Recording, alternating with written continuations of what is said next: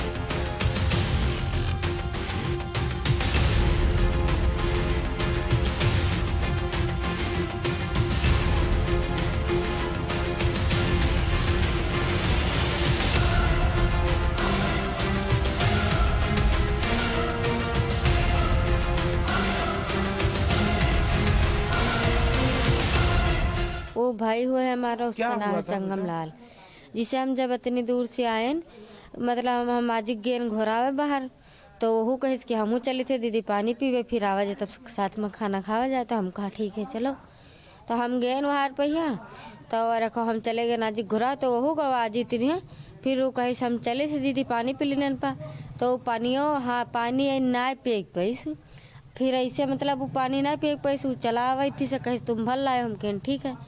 फिर रखो उ भरा आओ बा यही तीसे उका गिरा लिस काट लिस अब फिर हम जब देखें, चिल्लाने, जब वो चिल्ल मतलब उसके ऊपर चढ़ा रहा तो हम देखें तो हम कहन कि यहाँ ये रखो।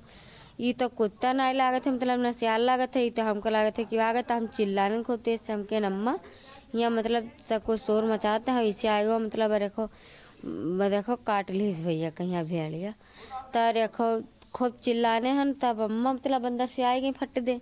और सब पप्पा पप्पा हमारा बोले मतलब ये पप्पा हमारा सब पप्पा हमारा चौराहा गए रहे।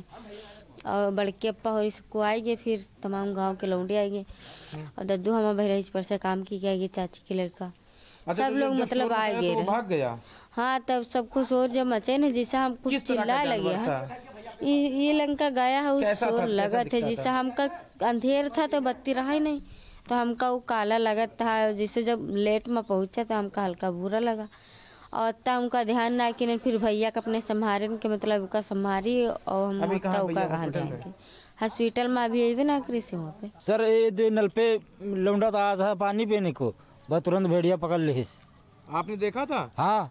तो सियार था कि भेड़िया। अच्छा क्या कैसा मतलब किस रंग का था? आपने रात में देखा देख पाए कि भागा किधर? काला रहा काला रहा है शेर तन का एकदम झबरी झबरी अच्छा अच्छा। हाँ।